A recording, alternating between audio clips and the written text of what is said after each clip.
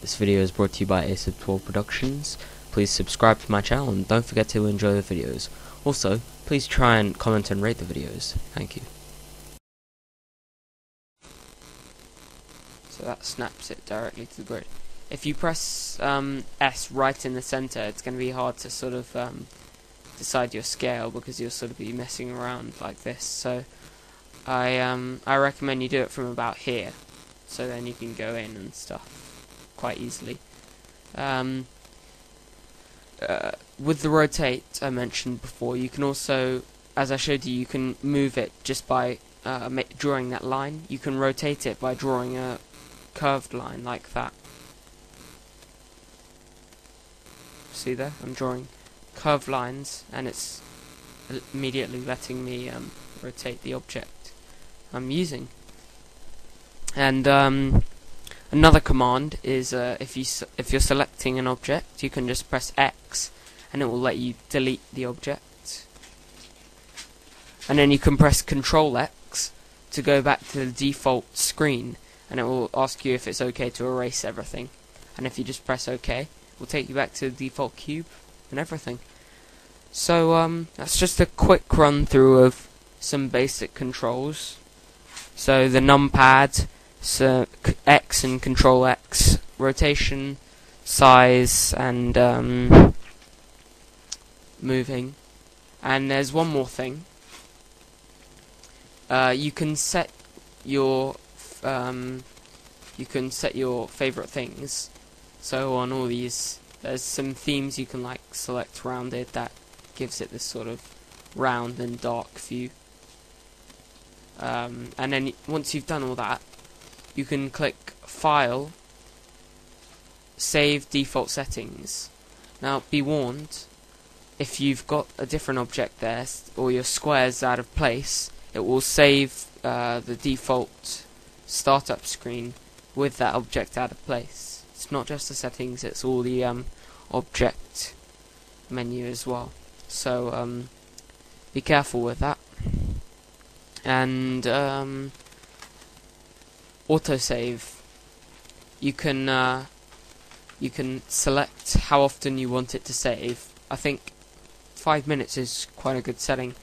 If you if your computer can take it do it every one minute. This means that um, Blender will automatically save every one minute since you set it. And it, you can select how many versions you want it to save. Uh, if you like backing up, select 2, otherwise only keep 1. Uh, I'm just going to set that back.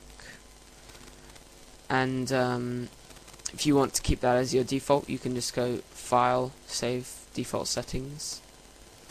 And um, I think that's about it. So this has been a tutorial by Asib12, over and out. I'd also like to say, um, please sign up to my site. It's all worth it. It's a good site containing um, all my. It contains all my uh, all my videos linked with Google. You can watch them on my website, or you can watch them on Go uh, sorry, not Google, YouTube, or you can even download them. And as I say uh, on the page, you can only you can because uh, they're .flvs, you can either convert them and watch them with a different media player, or you can watch them with VLC media player, which is also available for download from my website. I have um, so so you're looking at Mac. Change Windows to Mac. So it's just going to load up here. You can watch it here.